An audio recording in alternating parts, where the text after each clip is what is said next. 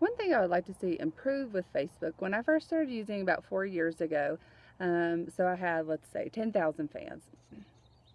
And I had access to all 10,000. So anytime I would post, all 10,000 would get my updates. And um, it was awesome. And then um, they changed it not too long after to where um, you had to pay to like promote your ads. Like if you posted something, um, if I didn't pay, like 10 people would see it.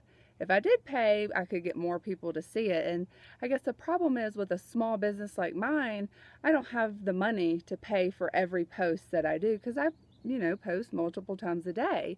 And I thought it would be awesome if it was like my website hosting company that I just paid a certain amount a month and all my followers got to see my updates. Um, I know larger companies can pay per post, but maybe for smaller companies, just a you know flat fee for all month, and then you could reach all our followers, and I think that would be awesome.